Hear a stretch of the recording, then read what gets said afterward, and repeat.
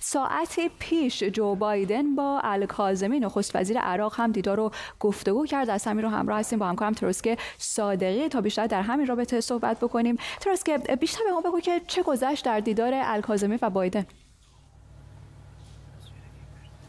خب دفتر نخست وزیری عراق یک بیانیه نسبتا طولانی منتشر کرده و به نکاتی اشاره کرده که در دیدار با بایدن الکاظمی محورهایی رو گفتگو کردن که اکثر اونها می‌تونه این رو نشون بده که به نفع جمهوری اسلامی ایران در حال حاضر نیست.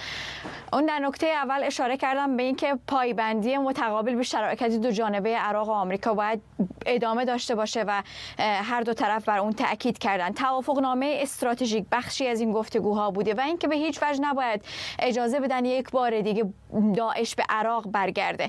ثبات و امنیت و حاکمیت عراق مهمترین نکته بوده که خود رئیس جمهور آمریکا بر اون تاکید کرده و از همه مهمتر با اینکه داریم می‌بینیم ده ماه از انتخابات گذشته یک بنبست سیاسی در اینجا وجود داره که گروه های مورد حمایت ایران مسبب این وضعیت بودن. هر دو طرف بر این نکته تاکید کردن که تشکیل دولت جدید در عراق باید بر مبنای دموکراسی و استقلال عراق باشه و چیزی که مردم عراق می‌خوان باشه. در واقع چیزی که در حال حاضر داره صورت می‌گیره این نیست که مردم منتظرش بودن. با توجه به اینکه دو سال اعتراضات در این کشور صورت گرفت 25 هزار تن زخمی بله. شدن. ممنونم از تو. اتروس که همین